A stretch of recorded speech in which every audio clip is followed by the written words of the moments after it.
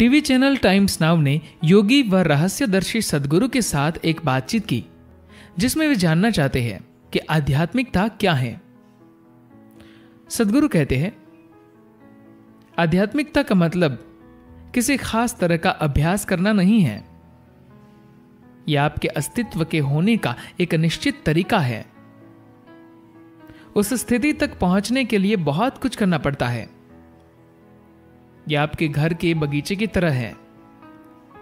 अगर मिट्टी सूर्य का प्रकाश और पौधे का तना एक निश्चित स्थिति में है तो यह फूल नहीं देगा। आपको इसके लिए कुछ करना होगा। आपको कुछ खास बातों पर ध्यान देना होगा।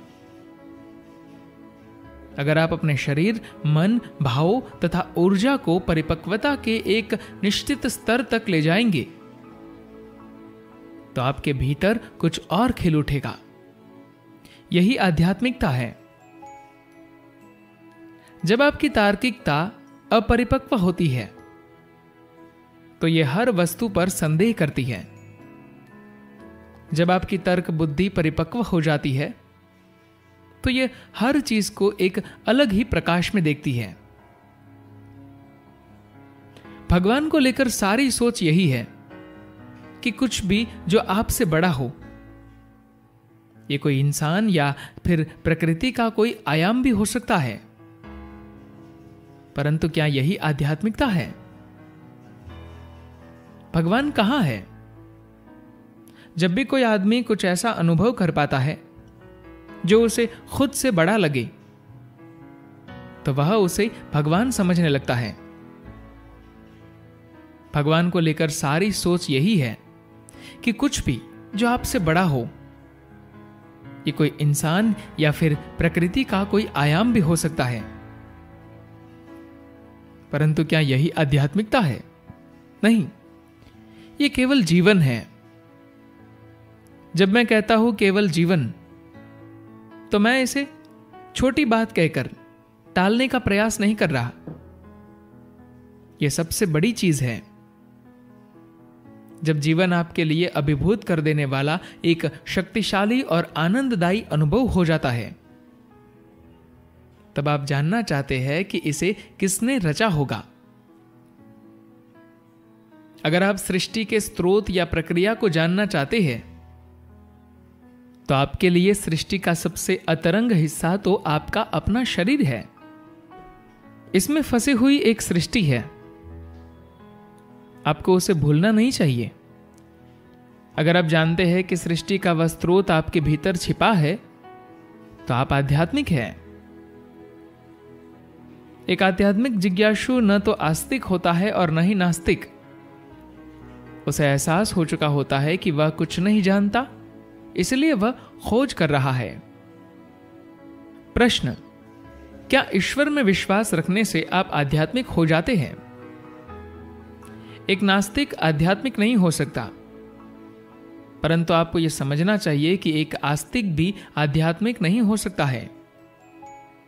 क्योंकि नास्तिक और आस्तिक में कोई अंतर नहीं है। एक मानता है कि ईश्वर है और एक का मानना है कि ईश्वर नहीं है। दोनों ही किसी ऐसी बात के बारे में विश्वास करते हैं, जिसके बारे में वे नहीं जानते। आप गंभीरतापूर्वक इसे स्वीकार करने को तैयार नहीं कि आपको नहीं पता। और यही आपकी समस्या है। इसलिए नास्तिक और आस्तिक में कोई भेद नहीं है।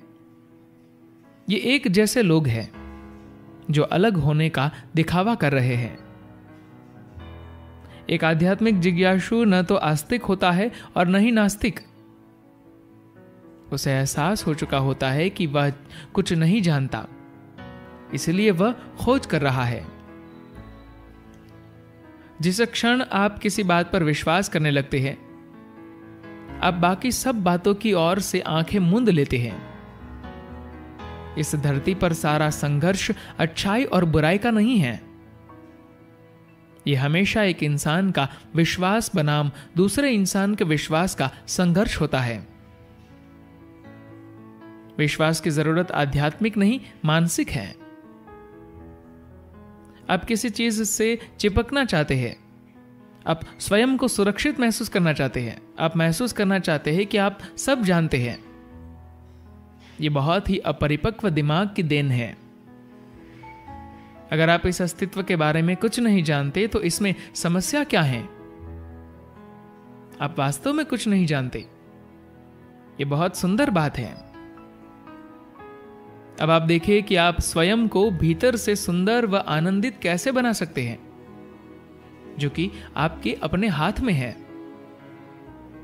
प्रश्न, आध्यात्मिक अनुभव क्या है? किसी सागर या पर्वत पर जाना एक खूबसूरत अनुभव हो सकता है। आपको इस संसार का आनंद लेना भी चाहिए, पर इसके साथ ही यह भी समझना ज़रूरी है कि सागर में रहने वाली मछली इसे एक आध्यात्मिक अनुभव नहीं मानती। उसी तरह पहाड़ों पर घूमती हुई एक बकरी उसे आध्यात्मिक अनुभव नहीं मानती, क्योंकि वह सदा उसमें ही रहती है। अगर आप उसे शहर में ले आए तो शायद उसके लिए यह एक आध्यात्मिक अनुभव हो जाए। दरअसल आपको अपने अंदर की सीमाओं को तोड़ना होगा। आपके भीतर कुछ टूटना चाहिए। आप एक खोल में थे, वह टूटा और आप उससे भी बड़े खोल में आ गए।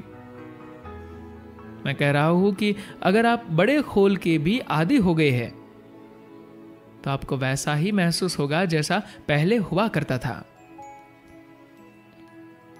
जब भी कोई आदमी कुछ ऐसा अनुभव कर पाता है, जो उसे खुद से बड़ा लगे तो वह उसे भगवान समझने लगता है। परंतु क्या यही आध्यात्मिकता है?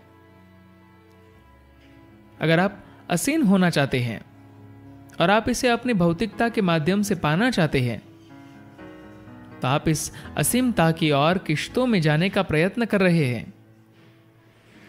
क्या आप एक, दो, तीन, चार गिनती करते हुए किसी दिन अनंत तक की गिनती कर सकते हैं?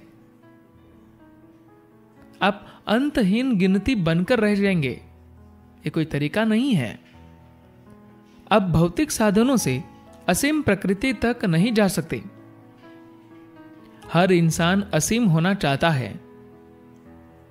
अगर आप उसे वह दे दे, जो वह पाना चाहता है तो वह तीन दिन तक ठीक रहेगा, पर चौथे दिन वह कुछ और खोजने लगेगा। कुछ लोग इसे लालच का नाम दे सकते हैं। मैं इसे जीवन प्रक्रिया कहूँगा, जो गलत दिशा में चल रही है। अगर आप उस असीम प्रकृति को जानना चाहते हैं तो आपके पास अनुभव होना चाहिए। आपके पास कोई ऐसा बोध होना चाहिए, जो उस भौतिक प्रकृति से कहीं परे हो। कुछ ऐसा, जिसे आपने सागर में छलांग भरते हुए, जो आपने किसी पर्वत को देखते हुए कोई गीत गाते हुए, नाचते हुए, अपनी आँखें बंद करते हुए, या फिर किसी अनूठे ही तरीके से आपने छू लिया हो। आपने उसे छू तो लिया, पर उसे हमेशा के लिए बरकरार कैसे रखा जाए? एक बात हम आपको एक सरल बात से जोड़ सकते हैं, जो कि व्यक्ति विशेष पर निर्भर करेगा। आपको ऐसी कोई भी व्यक्ति परक तकनीक किसी संकल्पहीन माहौल में नहीं सिखाई जा सकती। अगर आप अपने लिए थोड़ा सा समय अलग निकाल सकते हैं और आप पूरी तरह से समर्पित व फोकस्ड हैं तो हम आपको एक सरल अभ्यास से जोड़ सकते हैं, जिसके लिए हर दिन आपको केवल 21 मिनट का समय निकालना होगा। उस अभ्यास से इनर इंजीनियरिंग आप अपने दिन की शुरुआत एक आध्यात्मिक अनुभव के साथ कर सकते हैं, जो आपके भीतर से पैदा होगा। एक ऐसा शक्तिशाली अनुभव जो आपको सारा दिन शांत व आनंदित बनाए रखेगा। इसके अलावा, इसे बनाए रखने के लिए आपको एक और अभ्यास करना होगा। आपको अपनी सहभागिता की भावना को भेदभाव रहित बनाना होगा। अगर आप किसी व्यक्ति, पेड़ या बादल को देखें तो आप सबके साथ समान रूप से जुड़ाव महसूस करें। आप अपने शरीर और श्वास के साथ समान रूप से शामिल हो। अगर किसी भी चीज़ की परख किए बिना जीवन के हर पहलू के साथ समान भाव से शामिल होने की कला सीख लेते हैं तो आप निरंतर आध्यात्मिक भाव में बने रहेंगे। किसी को भी आपको सिखाने की आवश्यकता नहीं रहेगी कि आध्यात्मिकता किसे कहते हैं। धन्यवाद।